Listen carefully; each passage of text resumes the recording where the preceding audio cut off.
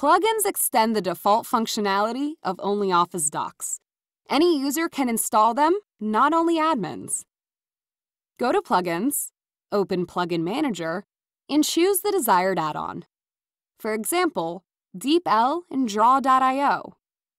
They immediately become available in the editor's toolbar.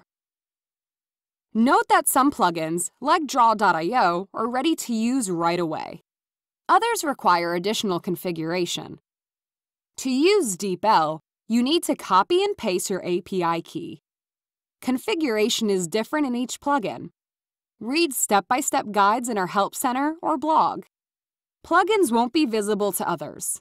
However, when you switch to another browser, plugins should be set up again.